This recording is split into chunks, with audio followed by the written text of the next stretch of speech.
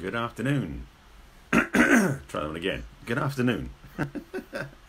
no lights today because it's earlier than usual, so it's daylight still. Times are changing. Um, welcome to my chat. This is episode number 946 if you're keeping track. And today we're going to talk about the third, yes, the third key to rocking your 2019. Excuse me, 2020. Transpose the year, that was embarrassing. Okay, let me start over. Hi. um, this is your third. Is your third key to an amazing 2020. Now I've got it clear. Let me talk. Okay, um, and are you ready? Now, the reason why I'm saying it's third key because I did two talks previously, yesterday and the day before, that were both about how to start your new year right. So I'll give you a quick recap, cliff notes of those two, although I do recommend you watch both of those in their entirety because there's some good points in them. And then I'll give you the third today, third key. And also where these belong, by the way, because I have a offering that I mentioned at the back end. And by the way, if you haven't seen my broadcast before, I usually do this at 5 p.m. Pacific time, but because I'm going to be at um, a social gathering at 5 o'clock, I'm doing them an hour earlier. So, ta-da, surprise. Um, and also, I'll let you know that back into the broadcast where you can find the replays in case you haven't seen my talks before. So, the first key I talked about on New Year's Day, was two days ago, was about having clear affirmations. First of all, I spoke about how I personally believe resolutions suck. and if you see my Facebook wall today, I posted tons of memes and jokes and things about how resolutions don't work. Um, and if you've done resolutions in the past, you may experience this for yourself. I know myself I have, many people I know I have. There's probably some statistic out there where 93% of all people who create resolutions lose them in the first three three weeks. I don't know if it's true or not, but it feels like that. So just so you know, I'm, I'm throwing arbitrary numbers out. I'm not saying it's true. However, most people's resolutions tend to die before the end of the first month, just to be clear. What I recommend instead is intentions. And the way I define it for myself, because it's really clear for me personally, that may not be clear for you, but the way I define it is resolutions are ego driven, because I'm resolving, going to make it happen, going to get it done and, and create sort of thing. It's kind of the way resolutions are built. Whereas intentions, to my way of thinking, are defined to be a way you set things in motion and then you invite spirit in to work with you. I, I say this intentions are spirit infused, so to speak. Sounds very um, chef oriented, that's the way to describe it. So resolutions are ego based, like pushing human type stuff. Intentions involve a higher power, so to speak. So that's the first one. Yesterday's talk, which is part two, or key number two, was about the power of vision boards. And I broke down vision boards and, and intentions, how to frame them, how to phrase them, how to create them in a way that is effective. So definitely watch the last two broadcasts. I'm not going to give you all the details. You have to watch New Year's Day and yesterday, which was 944, 945 episodes. This is 946, I think. Yeah, 946. So today, I'm going to talk about one more thing, another key for an amazing new year. So, are you ready? Let's jump in. Um, i dropped the hint yesterday in a way and mentioned it, but what I'm going to say about today is the biggest thing to make 2020 an amazing year. If you have some ideas of intentions, vision boards, desires for this new year, to put it simply, you got to feel them. What I mean by that is not just go, "Oh, I feel so good about it." No, that's that. Now that's different because because well, that's part four. Okay, maybe the part four tomorrow. Things drop in as I'm talking. but the reality is, is that to really have a clarity of what you want to create, what result you want to have, you've got to practice a thing that I would call, or have heard before, the term embodiment. Now, what that means literally is to take it on physically. So if you're looking to have, um, let's throw one out there, a new relationship this year, and you don't necessarily have it at this point, it's tempting to put down an intention and a vision board to start creating ideas about a relationship, you're not feeling it at all. It's really hard to get yourself to that result if you don't have any sense of feeling for what you want to have. So embodiment in this context is the feeling of basically how would it feel, and you get to experience this, how would it feel if you were in that amazing relationship? How would it feel if the vision you have, the vision board you recreated, your affirmations you set up, your intentions you designed, were actually happening now? How would you feel? Because that, if you bring that together, is kind of the icing on the cake for what I said the last two days. Again, intentions, vision boards are key components of creating a clarity of where you want to go in the new year. Why you I'm back up? Intentions and vision boards are key components to help you create where you want to go, period, not just the new year, but any time of the year. So they're not time specific, just to be clear about that. So you can do intentions, vision boards, and embodiment anytime you want. If you want to create a new experience in your life, be it a career, relationship, more money, travel, health, any area of your life you want to put energy into, Do these three things, and you can add the fourth bonus. I may mention talk about more tomorrow. Is affirmations, and you create more of a um, a greater a greater likelihood of it happening. Put it that way. Because if you don't do any of this stuff, it's very likely these things won't happen. Again, arbitrary numbers. Ninety-six percent of people who don't do this won't get the results they ask for. I'm just again, I'm just throwing numbers out there, but the numbers are pretty high. Just to be clear, from from anybody's research or anybody's idea what would happen, because we as human beings are much more effective when we affirm what we want, positive direction. We put in the present moment, or we state declaring it now happening. We create visual reminders, and then we create kinesthetic feeling reminders as well. That creates a, a powerful sense of direction, focus, and where we want to go. That's the way it works. That's the way we are as human beings. We function better that way. And one of the most powerful things we can do is what I call embodiment. Well, it's not me just calling it, everybody calls it that. But embodiment literally, well, it's not literally, figuratively, embodiment basically means the practice of embodiment when it comes to your visions and intentions and ideas that we want to have is to imagine trying it on like a new set, new new outfit, new new clothes. Stretch into it, you know, walk around in it, feel into what it feels like. You want to walk around your house or even go out in the world and act as if, in a way. But you're not acting, you're feeling different. So when you're feeling what's happening, you're feeling the embodiment experience. So basically, it's a matter of being in a place where you can imagine yourself being in that situation right now, loving it.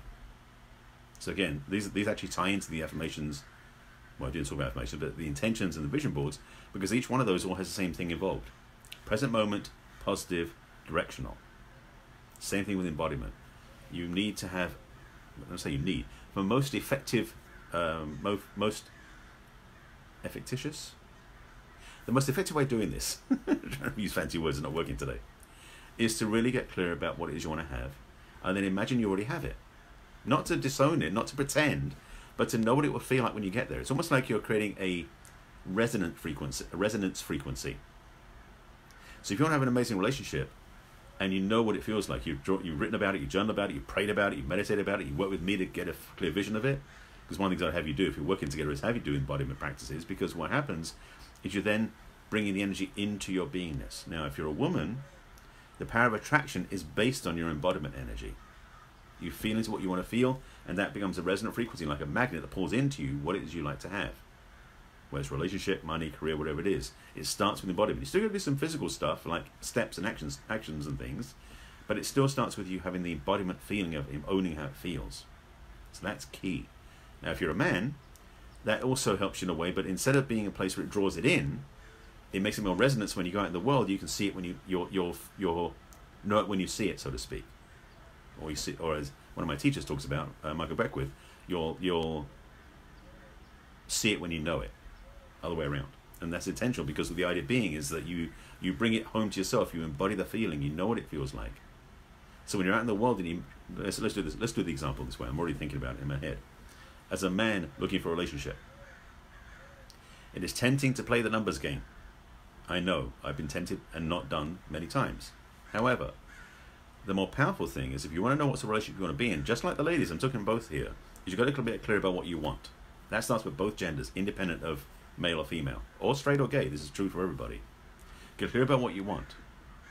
When you have that clarity and you start doing the intentions, vision boards, and then embodiment, because we all do this, men and women, then you get to create an experience of what it feels like. The next piece after that for for men and women is the feminine. Excuse me. Let me say this way: the feminine energy beings, because there's some men who are feminine, can be magnetic to draw in that energy by embodying it first. They know what it feels like, so they can start drawing in what it feels like to match that. The masculine-hearted people, mostly men who are straight, although some masculine men are gay. I'm, I'm trying to cover all bases here, so just be be gentle with me. But the masculine energy is a directional, focused energy. So basically, guy, gentlemen, if you're looking for a relationship, if you don't have direction, then it's like doesn't matter where you go. If you want to get clear about what you want, first it starts internally with vision, intention, and embodiment. And then you know when you go out in the world, when you meet somebody who resonates with what you feel, because you have a resonant frequency now, you know that somebody you want to check out more about and get to know them better and to find out if there's somebody who's a good match for you. Because the thing about it is, your resonance of this free, this this uh, embodiment practice can create the results you want, but if you're not accurate on your res- your embodiment, you might find you're off by a couple of steps, by a couple of things. So you might meet somebody I was talking to one of my, my uh, accountability partner earlier about this with one of her clients. Buying everything you think you want, and then suddenly there's a piece missing. The first thing is you know that you're close. Not that you did, not that anything's wrong, but you're close. So then you know this isn't going to work out because maybe the one thing's the qualities you really need to have is not in that relationship. Then you simply know reset, move again. Not saying you dump the person, but the relationship ends, you don't go, oh my god, it ended, so bad. You go, okay, so I learned something from that. See, the thing about relationships when they progress is you got to learn. If you don't learn, you're going to repeat the same thing again and again. That, by the way, that's a whole other teachings in my book. yeah. There's a lot of pieces coming through now because this is really about what's starting the new year right. And the reason I'm talking about this is because I have a, I have a, I've obviously got an offering for you. I've been talking about it for the last two weeks. But the thing about it is, when you know what you want, embodiment helps you create the energetic feeling, which is much more visceral. We as human beings have much more impact by what we feel than what we see. Now, you may be more visual versus kinesthetic, but the reality is you feel something that's more visceral, it's more grounded, it's more, more in your body, embodiment in your body, than just seeing something which is in your head. So embodiment is is vital in the step. So this is step again, key number three. I might do more tomorrow, but I'm just going to give a quick PS of step number four, which is affirmations. If you want to go in detail, you can let me know in the comments. I'll do more about it tomorrow, but I didn't plan on doing a fourth aspect. I was going to do first three, but the truth is, it's a vital piece too, because affirmations are sort of like the, the grease that moves the wheel, so to speak. So, yeah, that kind of works. I'm just throwing analogies out there, hoping they land, and this one seems to. So that's another piece of the puzzle. So what I'm going to mention to you is that what's coming up, it's supposed to be next week, but I'm waiting on the group size to really come together, is I have a new offering, which is a group um, gathering called the BFF Masterclass. Now, these things, things I talked about, the first day intentions, second day uh, vision boards, and the third day today by embodiment and affirmations, as four pieces, four pieces, will all be in the BFF Masterclass, but in much more detail. I'm giving you basically the Cliff Notes version all three days. So you'll be actually going through this practice with support from me and a lot more stuff, way more stuff besides this. This is just the tip of the iceberg, so to speak and I recommend you check it out. If you're looking to set your year up and your decade up for success, my BFF Masterclass is the sure way of doing that. I'm very biased about it too, obviously. So I'll put the link in the comments. If you want to get it verbally, I'll tell you it's, it's um, barryselby.com forward slash BFF.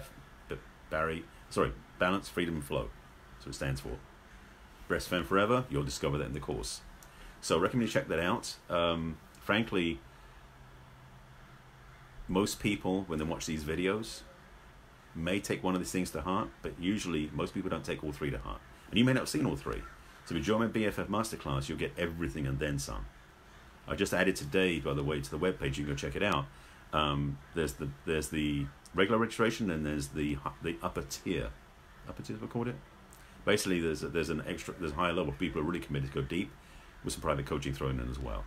So I recommend you check it out again. barryselby.com forward slash BFF. Link will be in the comments. Recommend it highly. I'm very biased about it because it works. And what else do I want to say? Um, yes, I have a book out. So you can, you know, what, go check out my website too, because besides that course, I have a lot of other offerings out there that'll get you where you want to go.